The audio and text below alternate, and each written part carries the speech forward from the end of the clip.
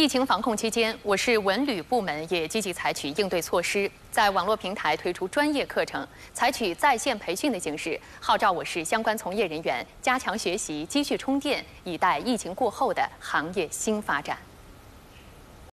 上午，在市园林植物园工作人员完成基本工作后，开始了当天景区培训课程的学习。据了解，本次培训由市文化和旅游局推出，从本月十四号开始，连续十天为我市各景区工作人员开办线上培训课程，内容涵盖景区升级、智慧景区建设、景区职业管理等多个方面的内容。参与人员只需在各自的手机或电脑上扫描二维码，就可以观看学习。他每天的。都有一些全新的课程，有安排到三到四个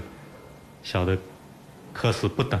就加起来差不多一个小时左右。学完以后还要学习笔记，才算今天的打卡成功。课程里面有对微景区的这个创建，有有有几节几节课，对我们现在的帮助是很大的。哪些能够做得更好？我们把它补齐。据了解，在疫情防控期间，受市文旅局委托，市旅游培训中心也在厦门旅游网络教育平台上分批推出《在战役中成长》、厦门导游讲解学习案例集萃等专题课程，涵盖厦门乡村、新潮景区、美食美味等九方面的内容，从业人员可以免费登录学习，都是比较具有代表性的。让更多的旅游从业者多学习、多思考、多提升，蓄势待发，为疫情过后旅游业的重振和发展积蓄更多的能量。记者杨红、郑仲维报道。